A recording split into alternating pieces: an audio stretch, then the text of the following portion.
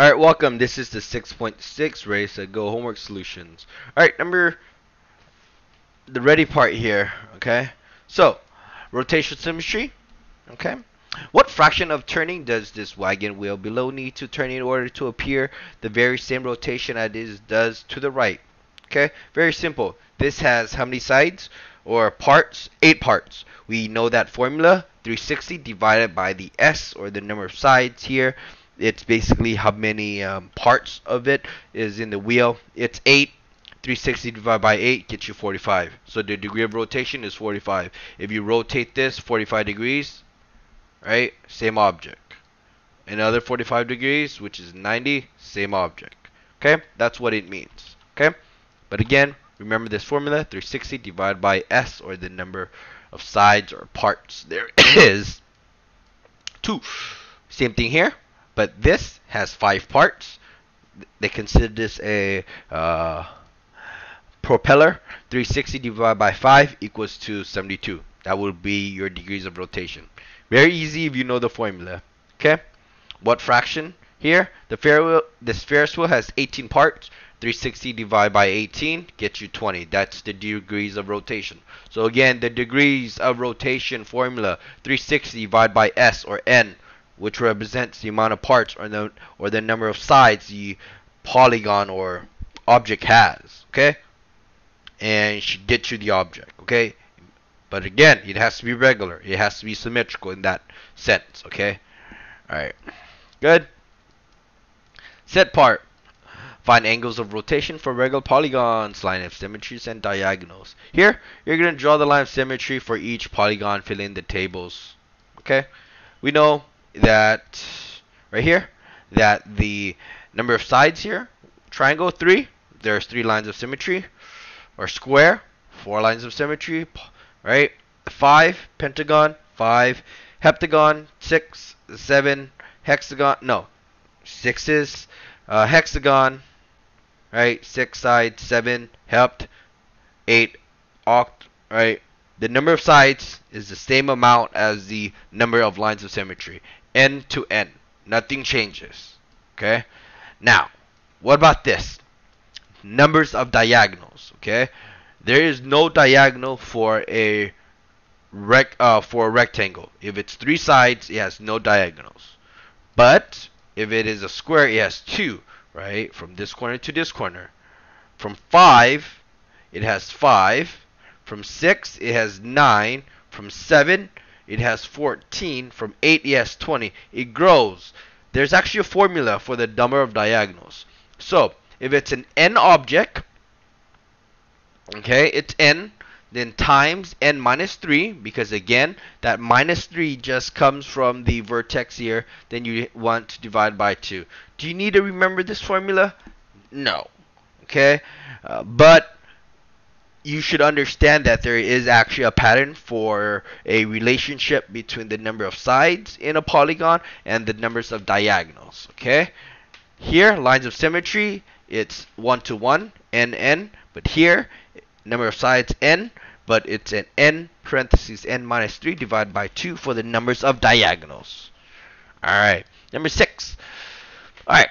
If it's a 12-sided polygon, what is the angle of rotation? Again, let n equals to 12. 360 divided by 12 gets you 30. 7, this is 20. 360 divided by 20 gets you 18. That's your degrees of rotation. 8, same thing. n equals to 15. 360 divided by 15 equals to 24. 9. We know now that it equals to 18. So we set up the equation.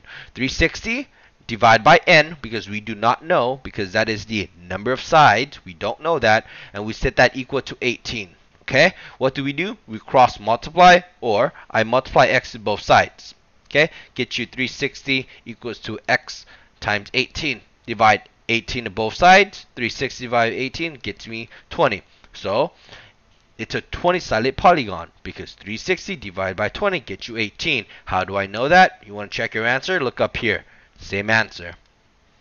Same thing here. How many sides? Okay. So again, same process. 360 divided by x equals to 20. How do I get 20? It says it right here. Rotational symmetry equals to 20.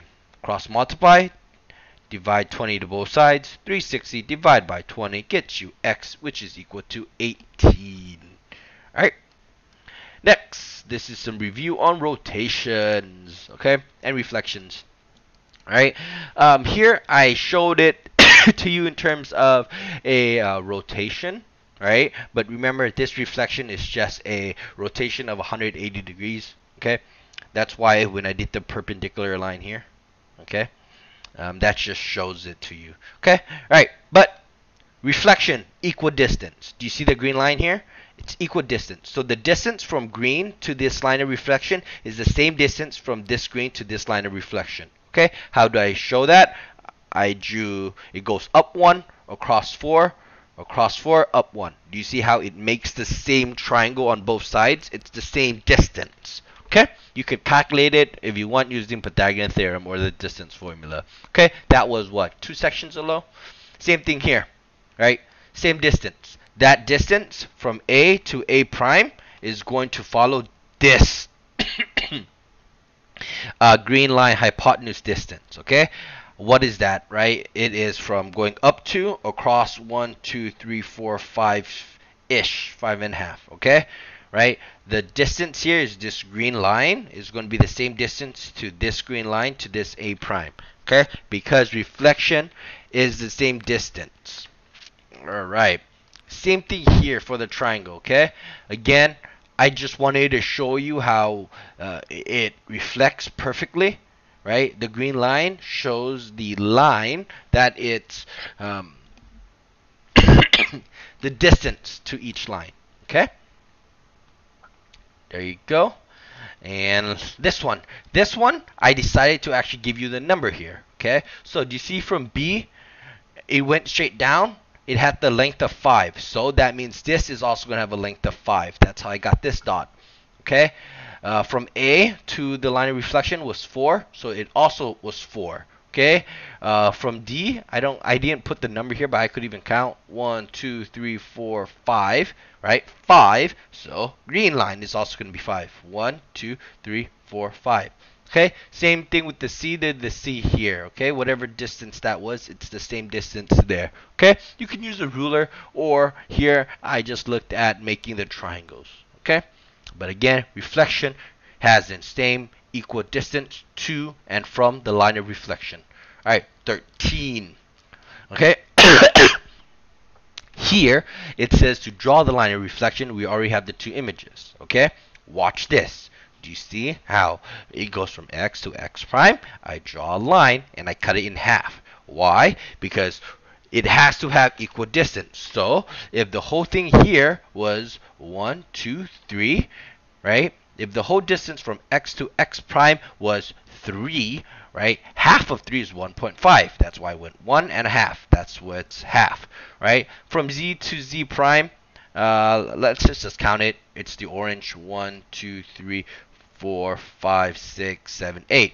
Right? Eight was your total distance. So the line of reflection cuts it in half, right? Because you want equal distance to the line of reflection. So half of eight is four. So one, two, three, four. Perfect. Same thing with the blue. One, two, three, four, five, six. Right? So it should be three. One, two, three. One, two, three. Same distance. Again, the line of reflection has equal distance from the object. Same thing here, right? I drew it, cut it in half, drew it, cut it in half, drew it, cut it in half, drew it, cut it in half. I just want to make a note here. The line of reflection here, line of reflection here, ha is the uh, is is the equation if it's horizontal. I think that is just x equals to negative one. Okay, because this this green line here was x equals to 1 right? It is a vertical line okay? There you go. Those are all your solutions okay for 6.6 there you go